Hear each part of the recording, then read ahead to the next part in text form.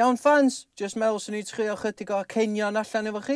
Dwi wedi bod yn gwrando ar lot o Radio Cymru yn ddiweddar, a dwi'n meddwl bod fi wedi neilio pob un acen yn Cymru. So dyma ni, 20 acen mewn 2 munud. Cyntaf yma ydy Cynarfon. Uh, just llais fi diwna, felly mae yna 20 arall yn dod wan. Dwi dod o Rhyl, lle ti dod o? Rhyl. Sut y licio'r carafan, Steve? Ydy o'n iawn? Prestatyn.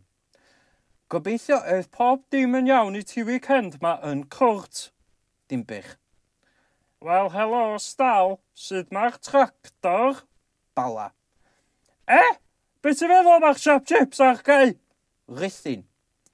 Helo, a chroeso i prynhawn da gyda fi heddiw. Mae Elen Fflir.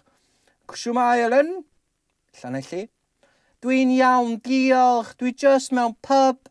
Ynys Môn. Diolch yn iawn, ia. O'n i'n heiddi'r wobr na.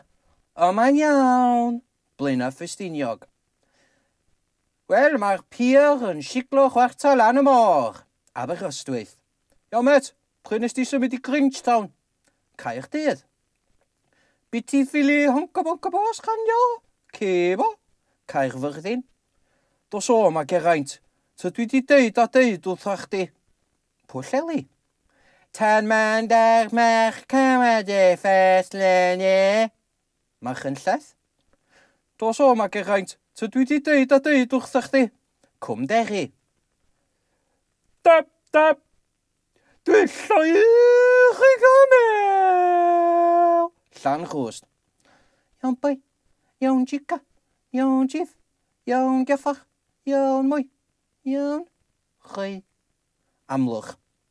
Ai, gau tri llefrith, plis, ai.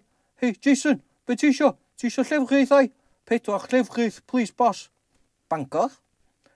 Mae'r cath a'r llath yn llifo lan y star. Ah, Abertawe. Get out!